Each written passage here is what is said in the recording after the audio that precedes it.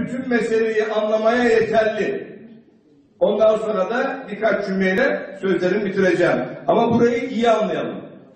Burayı anladığımızda her şeyi anlamış oluruz. Evet. Geliyor mu ses arka arkaya? Ses geliyor mu?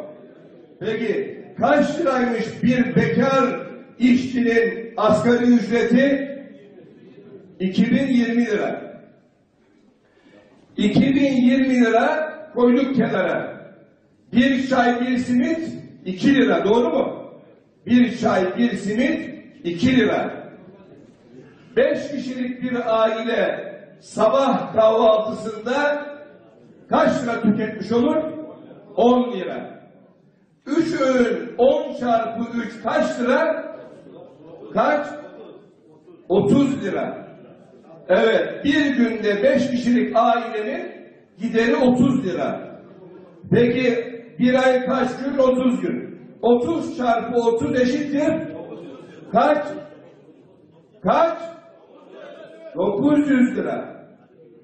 Asgari ücret kaç liraydı? 2020 lira.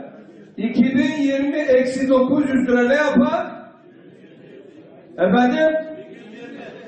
Kaç?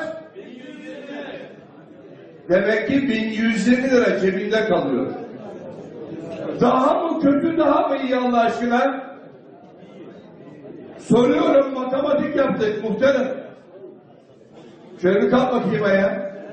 Allah aşkına şu anda 2020 lira asgari ücretten 5 kişilik bir ailenin çay simit hesabını aylık yaptık.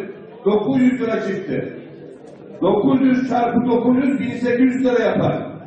İki tane 5 kişilik aile asgari ücretlerinden mukayese yaptığımızda 2002'deki değerler mi daha iyi yoksa şu anda Tayyip Erdoğan'ın iktidarında?